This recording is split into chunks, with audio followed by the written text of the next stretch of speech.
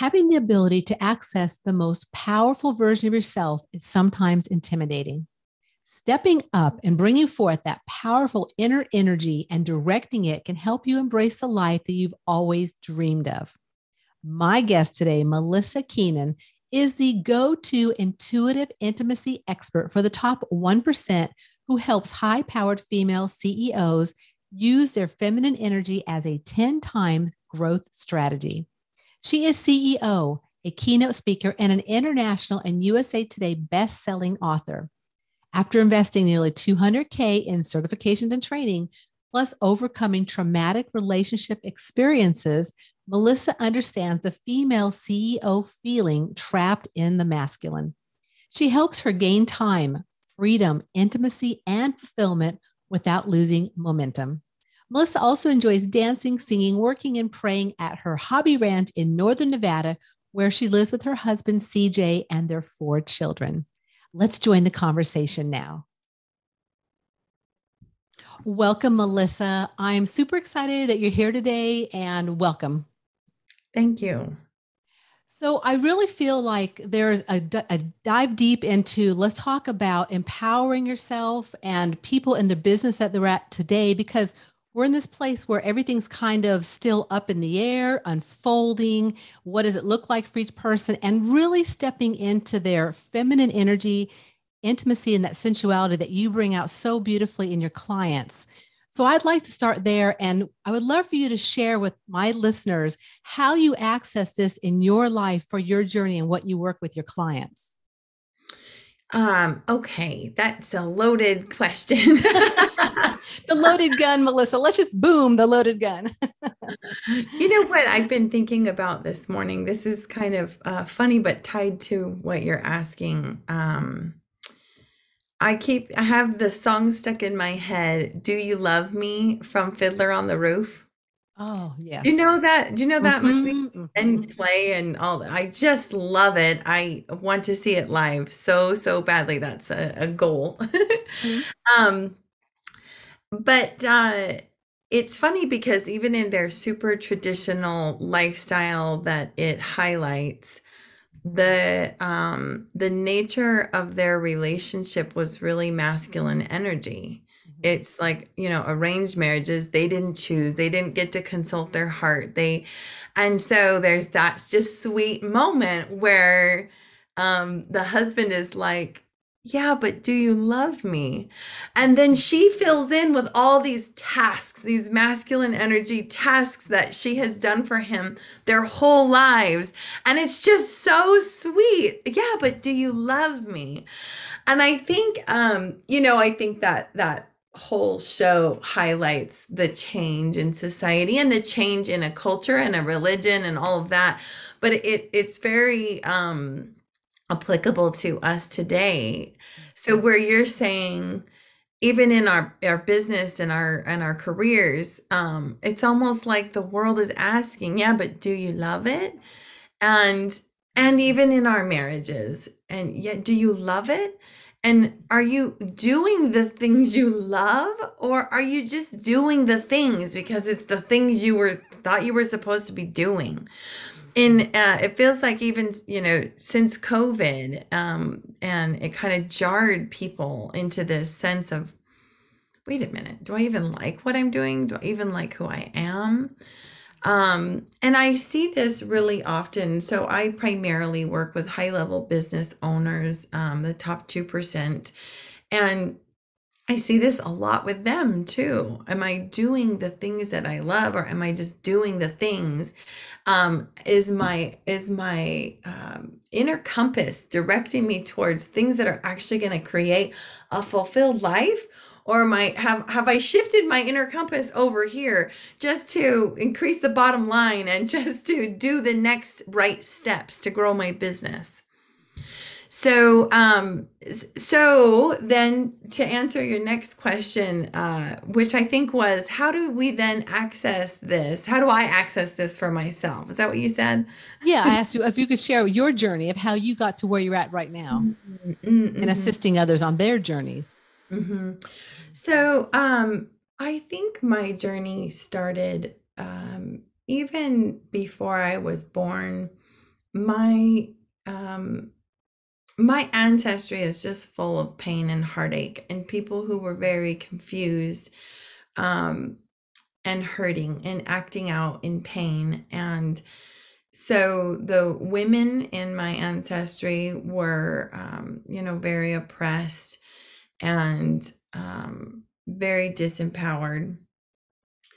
But it's funny the men the men were the persecutors but i think they were also very oppressed in a different way mm-hmm. and hurting and confused and so and so i was born into this really chaotic um atmosphere where christianity was like the insurance like maybe if we can just do this Christian thing and do it really, really well, then we will um, eventually figure it out.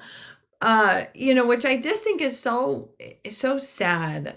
I, I and I love Christ. Um, I feel like I can talk about all these things on your show because it's Definitely. Spiritual, spirituality, but I love Christ, and I'm I actually do have a religion that I um, subscribe to. I'm a member of the Church of Jesus Christ of Latter Day Saints, but um, but I think Jesus must be looking at a lot of us and thinking, oh, "You're making this so hard, and you've twisted this so so different from what I ever intended it to be." You know.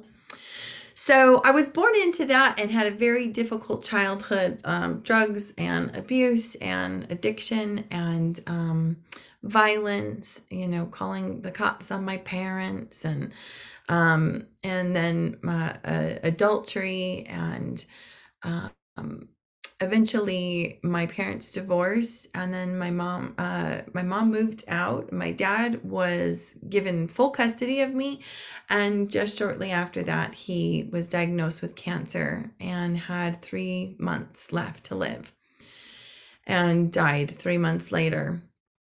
Um, and so i went and moved in then with my aunt and uncle and um, really you know because having those kinds of experiences so young, I was just constantly being asked, like by the universe, like, what do you believe? What do you stand for?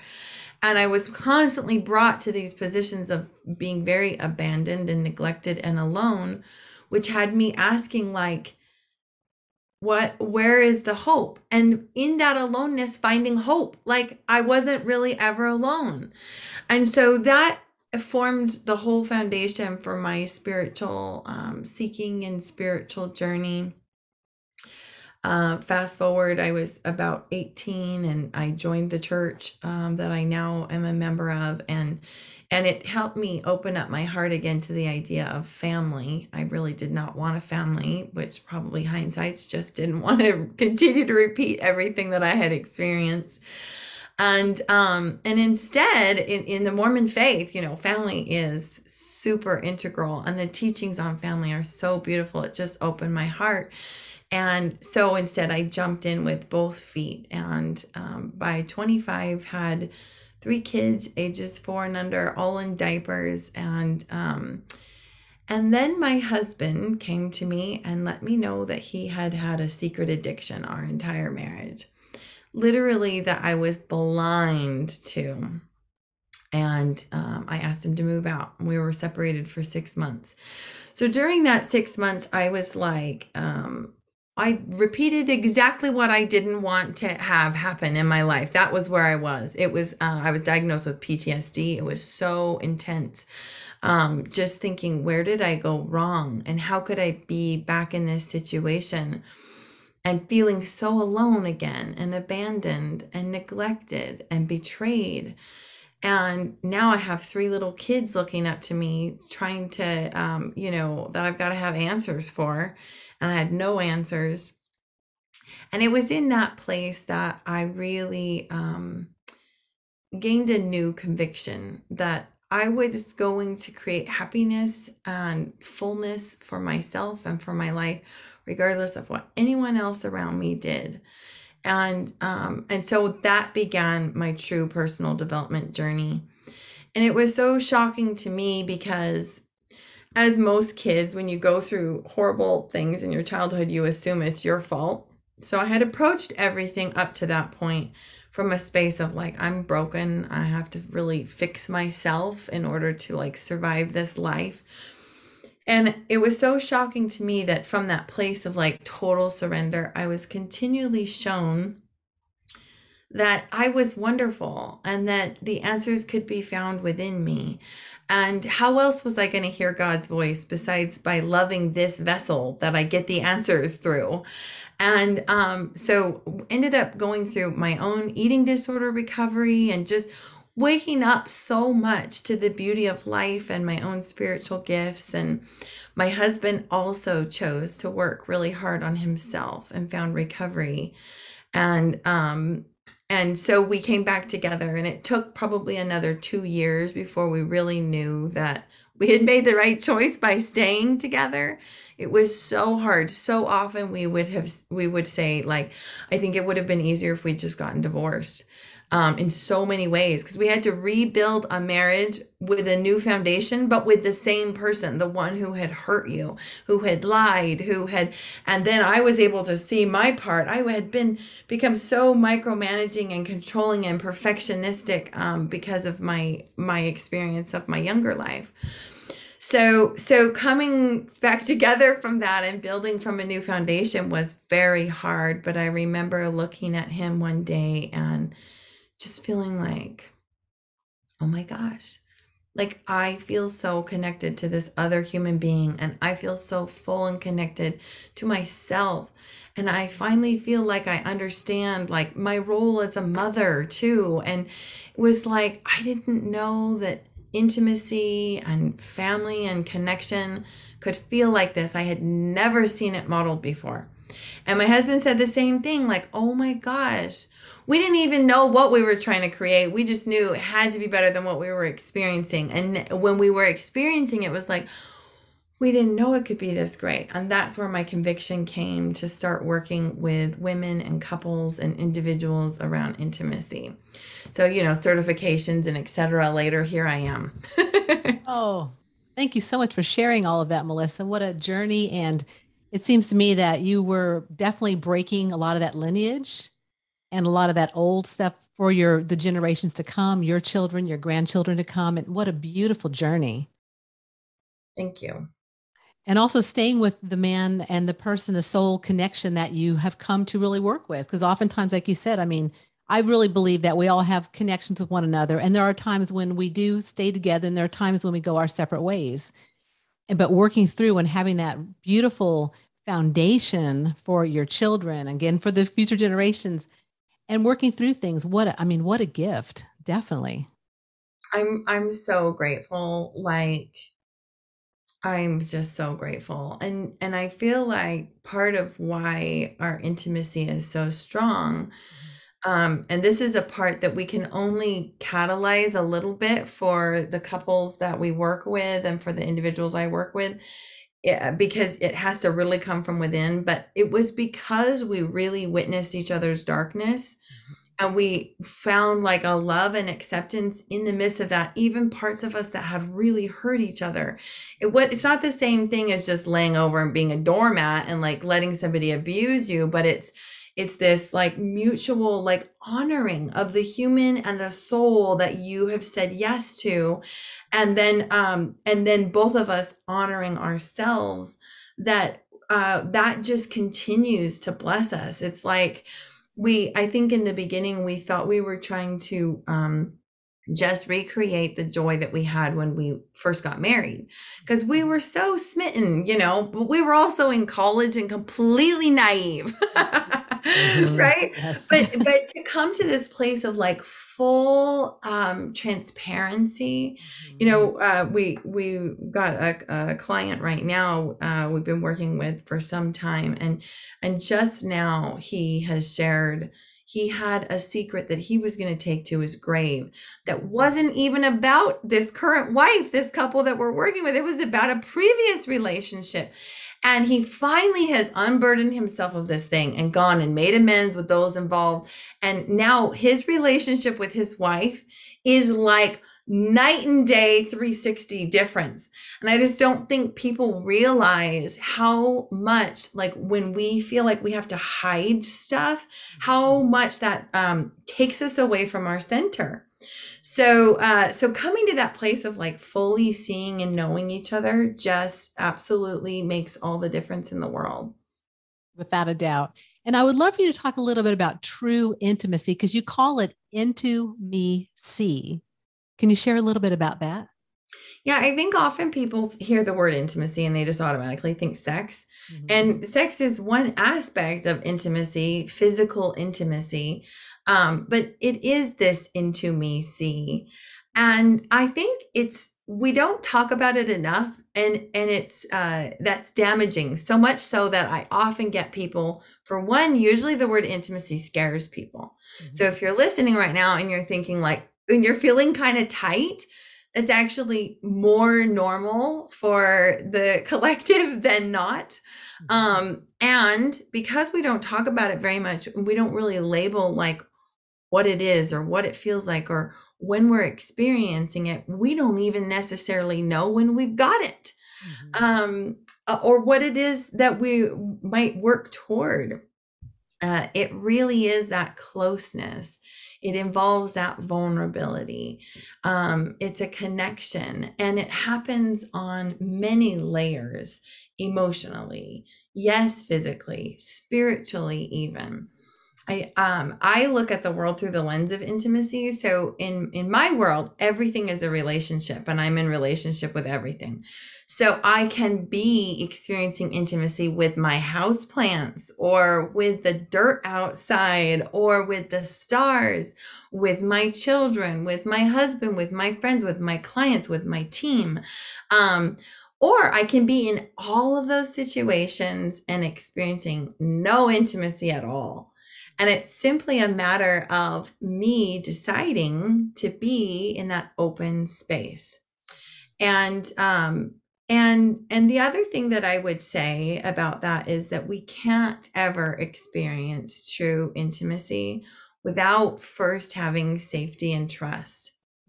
So uh, usually when we think of safety and trust, we think that our external environment has to create that. And while we definitely need that, it's less dependent on that than we give that credit. It's really more an internal safety and trust. So that's why intimacy with myself is like first priority. Can I be with my emotions or do I run from them? Can I be with the decisions I've made? Can I understand myself? Can I understand my relation to the things that have happened in my life? um do i like who i'm being as a business owner do i like who i'm being in my relationships that's intimacy with yourself first and we're really only able to experience um that kind of depth of intimacy with another to the level at which we've gone with ourselves and oftentimes especially women um, the women that I, I work with and talk to on a regular basis will say like um, I just I feel like people only appreciate me for what I can do for them. Right? That's a very um, common feeling in our current society the way that things run i i just feel like people don't really see me. They don't really know me. They only appreciate me for what i can do for them whether that's a spouse or it's in business um, or in the world at large. And typically this is this is because do you see you? If you want people to deeply see you, to hear you, to know you, and to appreciate you for simply who you're being, you have to be able to show them your beingness rather than just only showing them what you can do. And that starts by you seeing you. And I think that's where like you mentioned earlier how things have broken us open since covid and that that's where people are stepping into or moving into because the outer is not supporting the inner like that beautiful mirror it's i mean i feel too that like all that's going on in the outer world and all the chaos and craziness etc which honestly is always going on in different levels in different scenarios but it, that's a reflection of how people are feeling inside so, mm-hmm. like you're mentioning, when you really get in tune with yourself and that intimacy of who you are as a soul, a spirit, a loving being, then the outer changes. And I just, I, I really have complete hope for humanity. I believe that we are moving that way. There are so many of us on the planet now that are really emphasizing and sharing with people how to embrace this intimacy, how to embrace love, the Christ, you know, energy, everything, and like just bringing that collectively into what we're here to do and, and be right now. And but being in tune with yourself, like you mentioned, and you know, is really key. And the more that people can hear this information and and work with you know beautiful souls like you and what you're doing helps them move forward. So i want to bring this conversation into work because we've talked about ourselves about being intimate about you know being in tune with ourselves. So now i'd like you to share a little bit about how that affects the business that people are in and what they're offering the world. This is so huge um, and i'm going to make an assumption that your listeners probably are on board with some version of this sort of mentality around what's happening in our world right now, which mm-hmm. is we are shifting to a more feminine or Aquarian age, mm-hmm. and there is a great awakening happening. And so, if you look right now in the business world, um, really in our world at large, who are those who are super important? And what were the steps that it took them? How did they get to be a super important person? Air quotes. Mm-hmm. it's it's not because of their integrity it's not because of the core of who they are it's not we don't really know what's on their insides right um and I believe that because of this shift we're experiencing in society, there will come a time when our insides will be more apparent to all of us because we're all waking up to those spiritual gifts and we're all getting more in tune with our intuition. And we're going to see right through these people who have uh, only self interest uh, involved, right? So if we're going to continue to run our business and think that bro marketing in this masculine energy way of um, simply being transactional with people, um, you know, not really letting um, people know who you are, who the face of the company is, uh, especially if you're a service provider. But I think I think in all positions, your people are going to see right through you. mm-hmm. We are um, we are being called to this deeper level of connection. And those who can't hang, I don't think they're going to continue to be in positions of leadership. Um, so so there's my macro answer to to that. When we look at a business owner, um, business is all about relationships and we've been saying that from the beginning but we still have a masculine flair to that masculine energy. I'm not i'm not uh when i say masculine energy i'm not dogging men. I'm talking about yang. I'm talking about yang ways of being that we've done forever and ever. We know that business is about relationships but we don't really fully practice that.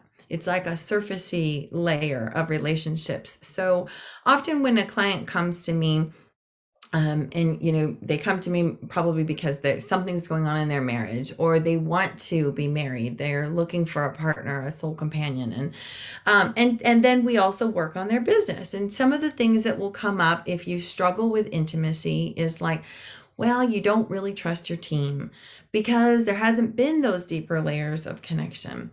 Um, you haven't really uh, given space for emotion within yourself or within your team.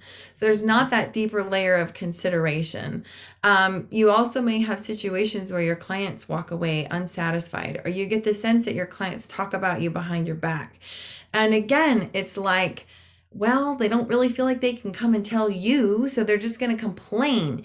And it's usually not because you didn't provide what you said you were going to provide, it was more around how you made them feel during the experience. So so some of these like very practical things, it's like people actually just want you. So if you're feeling like people only value me because of what I can do, why don't you try taking a risk and show your heart a little more and show a little bit more of who you are and actually be interested in the people that you're working with and hear a little bit about who they are and just watch how that changes things. There's some um, really neat programs out there right now that are encouraging corporations to transition to like fully autonomous and and I'm not going to pretend that I really understand all the inner workings of running a corporation. In my work I don't need to because I depend on the intuition of my client and my client she knows exactly how to run her corporation and especially when she taps into her intuition. But some of these programs are so cool because it's it's like bringing this oneness and equality to all members. There is no more hierarchy and uh and it's fascinating. I'm I'm uh, working with a company right now, and it's like every individual of the organization. Um, you would you would be hard pressed to know which one was the CEO if you just didn't know and they all lined up and told you about the business because they all care about it the same level. They all talk about it like they're the CEO, like it's their baby. it's like mm, oh, amazing. That is amazing. Don't we all want that? Definitely. Yeah. And I think too, like you mentioned with the intuitive aspect of where we're stepping into it with businesses is that it is definitely that transparency is so clear now. I mean, or getting clear and clear on Facebook, on social media. It like, you know, you know immediately is that is that someone I need to work with, not work with, interact with? It's just it's very apparent. Are you finding that also in the clients and the people you're working with? You know what? It's actually really funny you say that because no, I have not. I have mm-hmm. actually just last week wrote a post about this and have gone through this whole um this whole awakening of recognizing how much I was allowing myself to get caught up in the smoke and mirrors. Uh, because they're designed to really um, beguile you. they mm-hmm. are, you know. Mm-hmm. Um, in fact, I'm working with a mentor right now who is constantly reminding me, Melisa, these tactics from these previous, especially in the online um, uh, business world, these tactics are actually abusive. And it's like you have to treat yourself like a battered wife. Once you wake up and see, oh, I've been in an abusive relationship, your tendency is to want to beat yourself up for not recognizing it sooner or not getting out sooner. And that's been the case for me. My mentor is constantly reminding me, Melisa, like these things have been designed to trick you and to manipulate you and to gaslight you so that you pull yourself away from your intuition. Um, if anything, some of this conversation almost makes it harder, in my opinion, to know the difference unless you are always like really fine tuning your intuition. Because the people are saying authenticity, they're saying connection, they're saying spirituality, but you have to pay attention to how you feel when you're with them. Um, they could be saying all the right things and yet still and i and i don't fault the people who are doing that for it and probably because i have compassion like i've been there too. But it's like you've been trained to market a certain way. You've been trained to sell a certain way. You've been trained to you know uh, organize your offers and your um, and your business a certain way. And you and it really requires business owners to wake up and go what is actually in alignment about the way that I'm running my business and what is not in alignment with my soul, with my being. Um, and I think again, it behooves us to really do that work. If if we don't do it now, we're going to get left in the dust. Mm-hmm. Yeah, it's a critical time frame right now. That's hundred percent. I, I agree with you. And it just seems for myself, I've also um, been around a few people on fa- social media that I did, I was just naive and I wasn't following my intuition. But then I think back about a situation um, back in 2020 when things were happening and uh, something came up, and I was like, I just knew that is not for me. And I mm-hmm. didn't go there. And I'm mm-hmm. so grateful I didn't. And so, but other people did, and, and masses did, and it's okay because that's where they're at. Because that's one thing I want to mention too is that, you know, what people are at where they're at. I mean, so the person who's, you know, coming at us, trying to gaslight us or trying to, you know, ghost us or whatever by what they're offering and doing, it's where they're at. And I am now when I see people like that, I really recognize I know how to work with that energy because I recognize it now. So I'm getting quicker with my intuition and my understanding of how, you know, yeah. when when something doesn't feel right, there's a reason why it doesn't feel right. Do you agree yeah. with me, Melisa? yeah, a thousand percent. Yeah. And and following that matters so much. I definitely have had ebbs and flows of that in my own business, running my own business of really following that intuition. And um you know, just yesterday I had a situation where um like i i would i would assume at the end of my day if i felt off inside i would assume uh, all the voices in my head were true. Like it's because you're not enough or you're not doing enough or you know whatever. Your bottom line isn't growing enough or all those kind of um, you know older stories. And i sat with myself for a minute and i realized no it wasn't that at all. What happened was I had a babysitter lined up for my five year old, and the babysitter didn't work out. So my daughter was just watching screens all day yesterday. And that's not to say that that's super wrong or whatever. I just knew it wasn't what I wanted, but I told myself, you can't cancel your day, just move ahead. But my heart was saying, no, like don't. And at the end of my day, I felt horrible and I could have made it mean all these things about me. Instead, I just realized, oh, I stopped listening. I stopped listening right at the beginning of the day. And, you know, now I can go back and learn from that and do do better next time. And not be so hard on yourself, right? Totally. Because I think that's the thing is we just beat ourselves up with that. I mean, looking back at that yesterday, that's not really a big deal. I mean, in the scheme of things of life right. and all that goes on, it's like, oh, that's just not that's not a big deal. And your daughter's not going to be scarred for life for it. It's it's going to be okay but I totally get what you're saying, Melisa, especially with our children. It's, you know, um, yeah, it's there's a certain aspect to how we want things to look or how we want things to, you know, to fall fall into place. And oftentimes they don't. And we have to really move with whatever we're given and and be okay with that. So I totally feel you about that. When I think that for me, really listening to my intuition is connected to listening to my desires. And so that's where that's where it showed up for me. It wasn't really about like my daughter had the best day. She like loved watching TV all day. But it was for me it was my heart. It was just simply being out of alignment with my heart. That was all it was. And and another day that may not have even been the case but on this day that was the case and my heart did speak and i didn't listen. And so it's just simply like down to those kind of minute and that's why I do the work I do. That's why people really need support with intimacy is um you know we everything around us if we're looking at the scales the scales are tipped way out of balance. Everything is pulling us out of ourselves constantly. And you know the scales are way out of balance. So we need support on the other side of the scale saying the wisdom is inside of you what do your feelings feel like about that? What does your uh, heart say about that?